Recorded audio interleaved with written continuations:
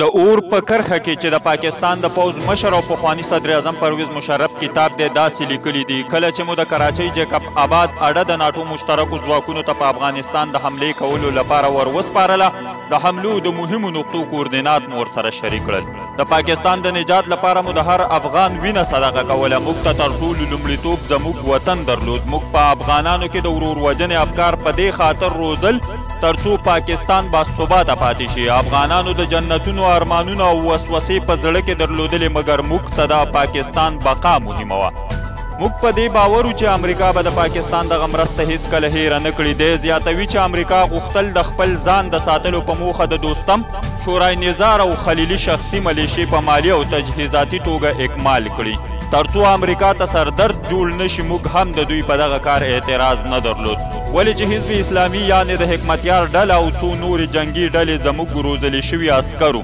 هرې خبرې او هرې قومندې ته به تابعدار ولاړو مشرف وایي بد بختانه په افغانستان کې بعضی پخوانی روشنفکرانو له دې فرصت استفاده وکړه امریکا یې له جوب له ګوتی ونیوله چې افغانستان شخصي ملیشې نه بلکې منظم اردو ته ضرورت لري هماغه و چې زموږ په لاس پخوانی ړنګه شوی اردو بیا ورغول شو دا ځلې د افغانستان پخوانیو منصبدارانو د پخوا په پرتله په لا ډېر وطندوستۍ، مینې او زحمت سره ملي اردو څارګره اداره او کمانډو ځواکونه وروزل. مشرف لیکي، ما د امریکې د هغه وخت صدراعظم بوش ته لیک واستاوه چې افغانستان کې باید اردو او ځانګړي ځواکونه ونه روزل شي. موږ افغانستان سره بلا ډېرې ستونزې لرو.